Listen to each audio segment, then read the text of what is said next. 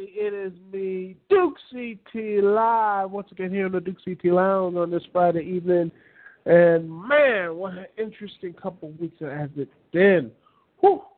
And before I get into all that stuff, let's get into the uh, calls. You want to connect to me, Duke CT is is very simple. First, you got the chat room on TalkShoeLive.com. Wherever you can go on there, look at that, and chat everything up.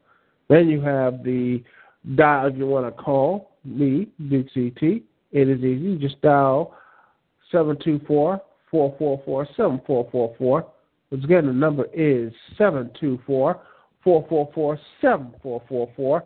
And the call ID to connect to me, Duke CT, is 92417. Again, the call ID is 92417. Woo! What a smackdown, huh? Well, besides that well, I didn't really care for the Dolph Ziggler, um, you know, Biggie Langston, AJ, Kaitlyn stuff. I don't care about that because, to be frank with you, I don't really care. I mean, Dolph Ziggler, as good as he is, he got nice theme songs, he does great moves. I mean, let's be real, he hasn't really won any matches. He hasn't done anything important in so long that I want him to do well, but in the end, he just loses so many times. Big E, well, he might have that outward personality, but he's so bland, so dull, so completely utterly incompetent at his job. Seriously, multiple times that he actually tried to help Biggie. Uh, no, Big E tried to help um, Dolph Ziggler and AJ when when they were all three together. They failed spectacularly. I have never seen a a a, a muscle guy fail at his job and keep having his job since Jackson Andrews and back in the day. Jeez, please. I mean, wow. I mean, when you have a backup guy, or at least someone like, say, uh, like a problem solver would have you, and uh, Christian and Tyson Tomko. I mean, at least they did something positive. At least they helped the guy out. This is just really, you know, this Biggie Langston might for the majority of the time, Biggie Langston got his uh, not only got his butt kicked, but most times than not, Dolph Ziggler got his butt kicked, and AJ got her butt butt kicked. So, yeah, you know, she has she she just doesn't really do a good job. Seriously, she's never really got adequate protection. All right, moving on from that, you had let's see, and also the match don't care about. Also, Miz calling matches, fine, whatever. I'm fine with wrestlers having their own matches. Hey, Bully Ray can um uh, make matches on the fly or what have you in TNA. Why not The Miz in WWE? Um, let's see. Kofi Kingston losing? uh, to Fandango. Well, that, yeah, that ride was uh quick. That was quick, huh? in a pointless match. And you have to wonder, since it was Ryback the intro, why not have Ryback at Kofi face or something like that? That makes more sense. In fact, when Ryback was leaving for Raw or what have you, have Kofi Kingston return, come back, assault Ryback, hell, throw him back in the ring, get him a world's strongest slam or something. Hey, it'll say Kofi Kingston's back and he's coming after Ryback. And you have bam, you have another SummerSlam match, or you want to do you want to tease, you know, that would be really interesting. I mean, why not? It would have been much more interesting and, and better than just having a pointless match for Fandango. And speaking of of um, match uh, people who are not being part of SummerSlam, where the hell is RVD and Randy Orton? I mean, Randy Orton's not going to compete at SummerSlam. You're almost telling people that he's going to be cashing in the WWE title. Why not put him in a, a multi-man match with Del Rio? I mean, with Del Rio and Christian. I, mean, that would make more sense. And you have RVD, who honestly has been gangbuster since he came back to the WWE. Uh, and let's be frank about it. He's not booked in the match. It's stupid. It's stupid. Why in the world he is not booked for SummerSlam and Christian is? And I love Christian. He's a great match. I, I I, I wept when he lost that world title to Randy Orton, but dude right now does not have the high type of buzz with Randy uh, with uh, RVD Orton has. I honestly surprised that Randy uh, that RVD didn't get a shot with um, Del Rio, who again is not really over, and well, again, I don't really care for. And besides, he took out his main guy, you know, the person that I actually cared about him, who was with him, uh, uh, Ricardo Rodriguez. Since he's out of the fray now, you know, I don't really care about Del Rio anymore. I mean, he just took the most interesting part of him and just, you know, he's just there. And without Ricardo Rodriguez, he's nothing. He's bland. He's I don't miss him when he's gone. In fact, when he's gone, I'm like, I don't really care about him. Alberto Rio, maybe he is a great ring technician and all that stuff, but he has no personality. I don't care about Del Rio. Why should fans don't even care about him? They just like they they react with silence most of the time. In fact, the only reason why I got cheers is when Ricardo Rodriguez shows up and says, Alberto Del Rio. Same thing on Monday Night Raw when he came back. You know, that's that's the only one Ricardo. I mean, Roberto got over because Ricardo. Hell, Ricardo uh, had a singles bad Royal Rumble. People cheered him. They loved him. And when he was out against, um, I think remember a couple of years ago when um, Miz and, and um, R-Truth was feuding, and he and uh, the Miz intimidated Ricardo Rodriguez was just a bit of a laugh. I mean, seriously. And then you have him go and say, "We're singing Lucha Dude was got cheered. I, I have no idea why in the world WWE saying, you know what, we care more about Alberto Del Rio. I think maybe that's the reason why he's been losing so much. I mean, he hasn't really got anything. I mean, maybe just this whole losing and realizing that, man, wow, I suck.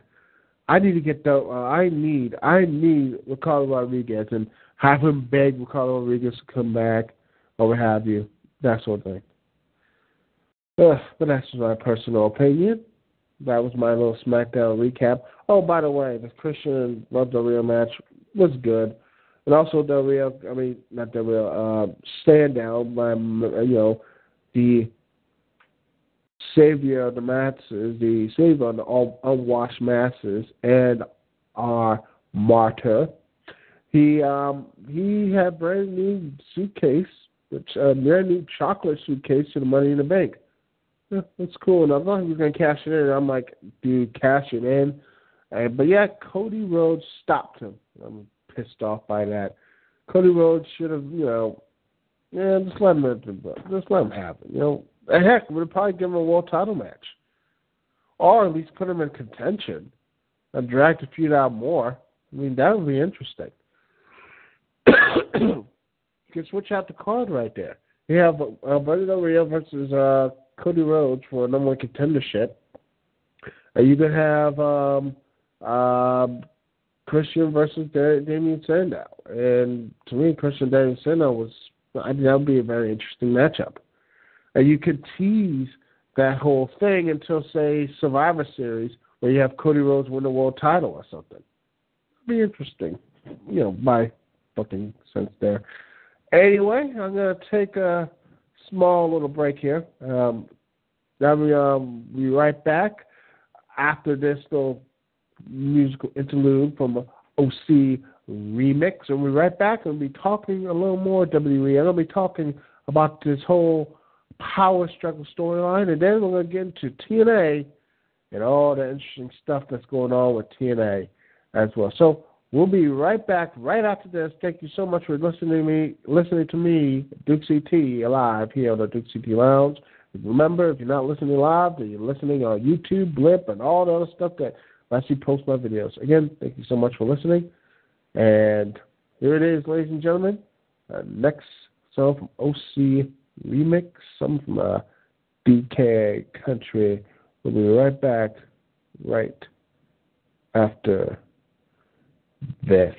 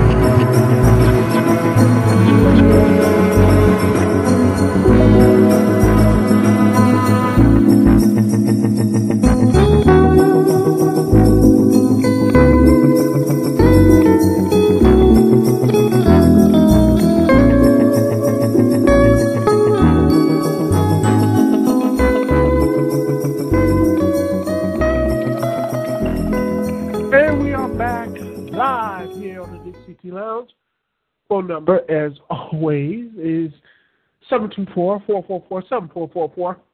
Once again, the number, as always, is 724-444-7444.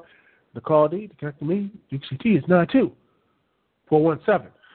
Once again, call D is 92417. Boy, whew. getting some water here for me. Ah, get my throat all workout and everything else. All right.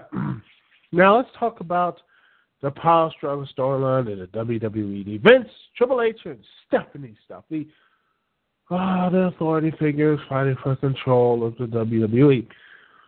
Yeah, it's been done time and time again, and quite honestly, I don't care. I'm serious. I do not care about this storyline. It, it wasted so much time and strokes so much egos and such. It's just uh, I'm sorry. It, it just really bores me to tears. I'm like, really? I mean, and, and remember this back in 2011? He's been Vince was relieved of his duties. How? Again, he comes back and he has all power again. How? Ugh. And since Vince is the chairman of WWE, the supreme authority over the company when he feels like it, you he'll just come back again the next day and say like, yeah, I'll still run this. I'll still run the show. I just I don't know. Just no. I I just and then it's just every time the show it comes on, every time the show is just going along well, um, especially on Raw they do this stuff and everything just slows on to a halt, and I'm like, eh. there's a reason why I skip a lot of stuff on Monday Night Raw. It's because of that stuff.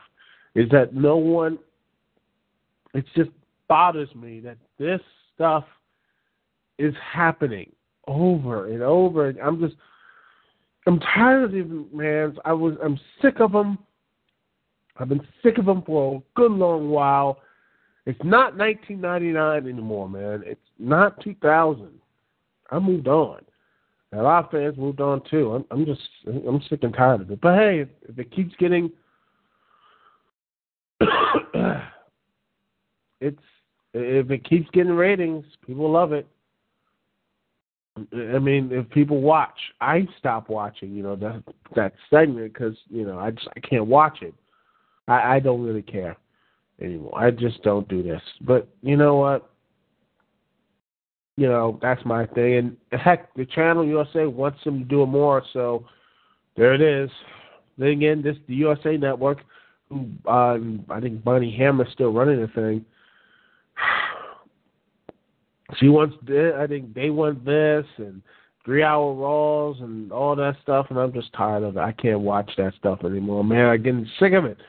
You know, Daniel Bryan up there doing that stuff. It just there's so much bland stuff there.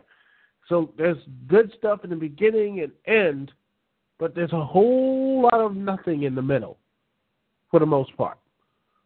I'm not crazy, am I? Am I? No.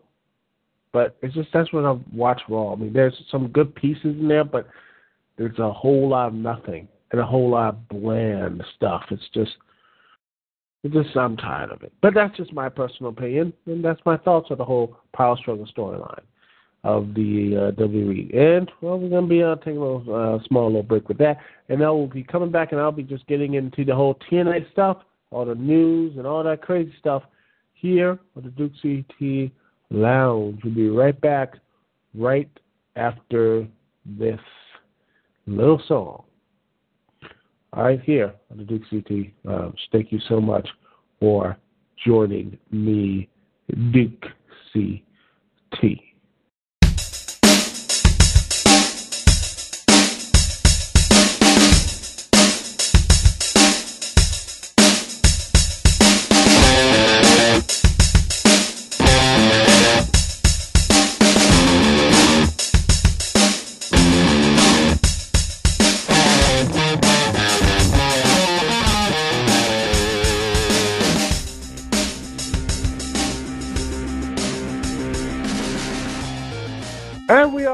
And gentlemen, here on the Duke CT Lounge. Phone number, once again, is 724 444 7444. Once again, the number is 724 444 7444. And the call ID to connect me is to me, Duke CT, is 92417. Once again, the call ID is 92417. Now, let's get on Ah, TNA, TNA, TNA, TNA. Well, we got some big news, people. Uh, there is a new TNA head of creative, and guess who it is? It's old Uncle Eric. That's right, Eric Bischoff. It's back in, and, and he's back in power, ladies and gentlemen. Yeah, Eric Bischoff. Used to be Bruce Pritchard, but yeah, you know this. I don't see this as an upgrade. Now I could be open minded and be like, hey, this could be. I mean, maybe he's learned some things. Maybe maybe this this might be a new change. Maybe there would be something positive. Um, But I I don't see that happening. I don't see um I, I don't see anything. It just feels like it's the same people, the same insular group. I mean, wrestling needs some new blood in it so badly. It's the same people over and over again, especially like in TNA, which is supposedly the alternative, but yet we still see the same old people rotating around after around and around. Ugh. It's frustrating. It's really frustrating. As someone who truly, truly loves this company, and then, you know, all this crazy stuff around it, you're just like, man, I, I want to support you. I really want to support you, especially after that crap, crappy August 1 warning stuff with Tito Ortiz, with everyone looking just completely, utterly shocked. Especially, I love Anderson's look of dull surprise or something. Just no, just not any fucks given. he didn't even care at all. Just wow. oh goodness, it really is. And, is know what this means. It's gonna be more of the same evil faction coming in to save the day, destroy the day. I'm, I'm tired. I'm tired of evil factions, and and you know what? TNA seems like they're just gonna keep doing the same damn thing over and over again. I'm tired of evil factions. I'm tired of the same old crap. It's no more. I just don't want to be 1996 anymore. It's W. WCW is no more. I, I I'm tired of it maybe I'm being you know overly paranoid, but just I I I want I would love to be wrong, but TNA just you really are just pissing me off, man. It pisses me off. But also there's some good stuff. But to be fair, there's some good news. They re-signed Magnus to a brand new deal, and I'm happy about that. Um, and um, I liked TNA Impact last night. It was a really good Impact. I I liked Roode's promo. I liked this whole group there with Daniels and Kazarian. And I also thought Bad Info was going to break up, but they didn't. You know, bromance forever. Bro, bros before BFG series, baby. Um, you had some really good stuff with Sabin and Bully Ray and, uh, and Main Event Mafia stuff as well. Uh, Kurt Angle with his nice sunglasses. I don't care if people hate them. I love those damn sunglasses. And honestly, uh, I like some of the finishes here in the uh, BFG series. So, again, I really did. I thought it was a pretty good impact. And I like the way it looks. And even though they are basically stressing to be a Hogan match at BFG, I'm just happy it won't be for the title. I'm praying it won't be the title. I'm hopeful it, it isn't because I just uh, please.